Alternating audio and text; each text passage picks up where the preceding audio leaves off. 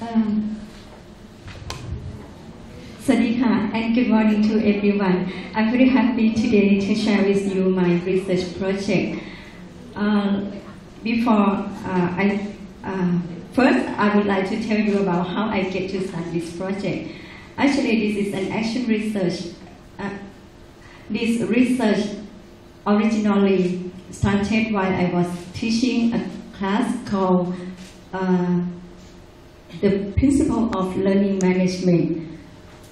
Uh, and then I did the research to find out uh, what are the characteristics of the learning tasks that can promote student learning outcome.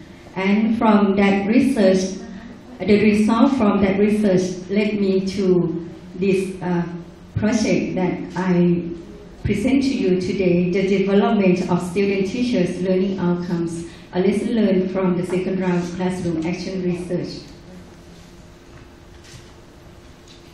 And as the importance of the expectation on learning outcome, uh, students are expected to achieve the learning outcome as stated in the curriculum and in the uh, in the Thai qualification framework, and also the instructional design for higher education should be designed or incorporate a student-centered approach and move forward to achieve the Thai qualification framework.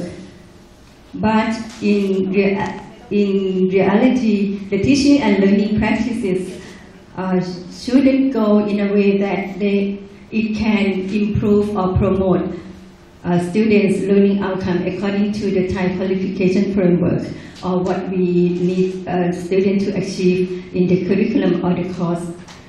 And it is essential to develop teaching and learning uh, continuously in order to improve students' learning outcome.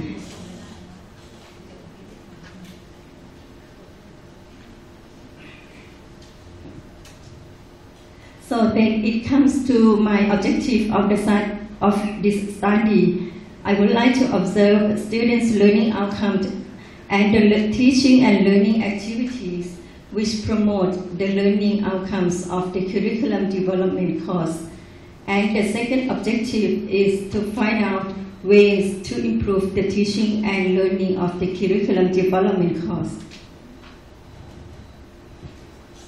And as I said earlier, this is an action research, so I conducted this research with uh, two classes of my students who are in the second year in the course curriculum development uh, in the first semester of the year 2013.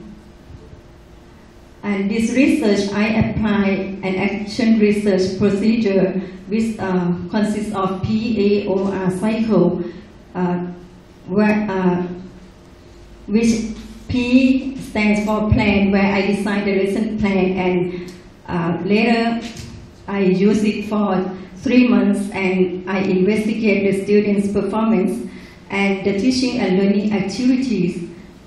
And uh, for R, reflect, I ask students to review the lesson plans and the teaching and learning practices And to uh, conduct this, this research, I use the course syllabus and self-evaluation form as a research tool. And from data I gather, uh, I do the data analysis using content, content analysis, mean and standard deviation. From what I have uh, conducted and analyzing the data, I found that 94%, 94.8% uh, of the target group gain knowledge and skills relating to the course at a high to highest level. And also, students had successfully achieved overall course learning outcome at a high level. But when I specifically looked into uh, the learning outcome for each domain, I found that the interpersonal skills and responsibility domain had the highest mean score. but I do uh, have a little disappointment on the cognitive skills domain, which it received the lowest mean score, but actually it's still at a high level. And also the findings suggest that the activities such as school or site visit promoted students' whole learning outcomes. I mean, uh, promote the full learning outcome of the uh, curriculum.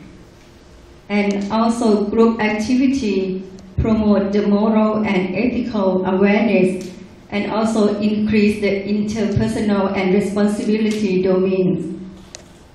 And by using questioning technique, uh, students increase knowledge domain and also the cognitive skill domain.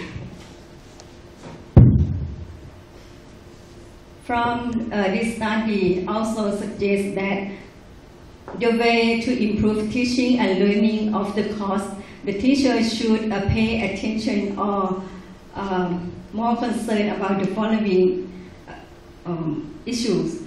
Uh, for example, students need more time to study outside the class, especially for site visit and self-study. Also, students realize that they uh, can practice thinking skill through the uh, section where they can give opinion and join the question uh, uh, by joining the question section.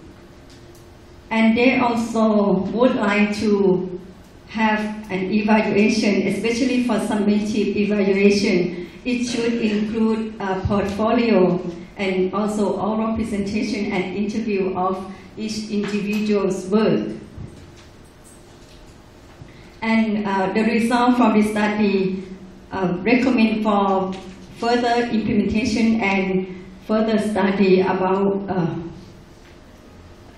teachers should uh, pay more concern on thinking skill development in the teaching and learning of the course since uh, this finding from the finding from this study show the cognitive skill uh, receive uh, lower um, achieve than other domains. And also students should be more prepared to achieve, participate in student-centered activities.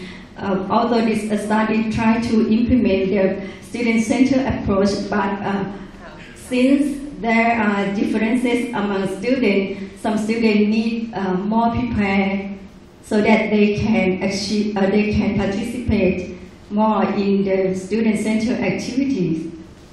And also the assessment task should be linked to a whole learning outcomes or add more uh, learning and assessment tasks which link to the learning outcome of the course.